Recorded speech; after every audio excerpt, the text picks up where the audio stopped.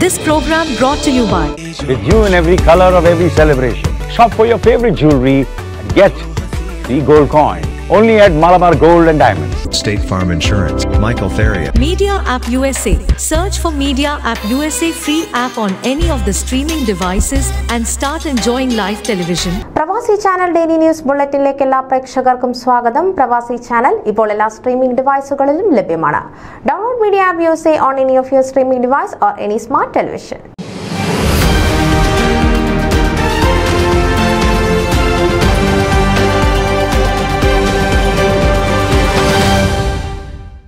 രണ്ടായിരത്തി ഏഴ് രണ്ടായിരത്തി പതിനഞ്ച് കാലഘട്ടത്തിൽ ഡാളസ് കൗണ്ടിയുടെ ഡിസ്ട്രിക്ട് അറ്റോർണിയായി സേവനമനുഷ്ഠിച്ച ക്രെയ്ഗ് വാട്കിൻസ് അന്തരിച്ചു.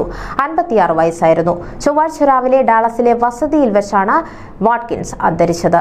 രണ്ടായിരത്തി ഏഴ് രണ്ടായിരത്തി പതിനഞ്ച് കാലഘട്ടത്തിൽ ഡാളസ് കൗണ്ടിയുടെ ഡിസ്ട്രിക്ട് അറ്റോർണിയായി സേവനമനുഷ്ഠിച്ച ക്രെയ്ഗ് വാട്ട് അന്തരിച്ചു.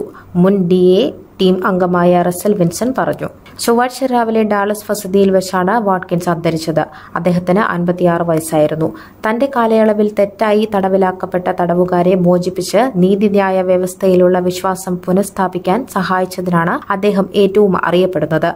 ഡാളസ് കൌണ്ടിയിൽ തെറ്റായി ശിക്ഷിക്കപ്പെട്ട ഡസൻ കണക്കിന് തടവുകാരെ കുറ്റവിമുക്തരാക്കാൻ സഹായിച്ച ഒരു കൺവെൻഷൻ ഇന്റഗ്രിറ്റി യൂണിറ്റ് ഔപചാരികമായി സ്ഥാപിച്ച യുണൈറ്റഡ് സ്റ്റേറ്റ്സിലെ ആദ്യത്തെ ഡി എ ആയിരുന്നു വാട്കിൻസ്. പഴയ കേസുകളും തെറ്റായി ശിക്ഷിക്കപ്പെട്ട് വർഷങ്ങളോളം തടവിലാക്കപ്പെട്ട ആളുകളെയും പരിശോധിക്കാൻ ഡി എൻ എ ഉപയോഗിക്കുന്നതിനുള്ള ഒരു trial ബ്ലീസറായിരുന്നു Craig Watkins. W F A എയോട് Dallas county judge Clay Jenkins പറഞ്ഞു.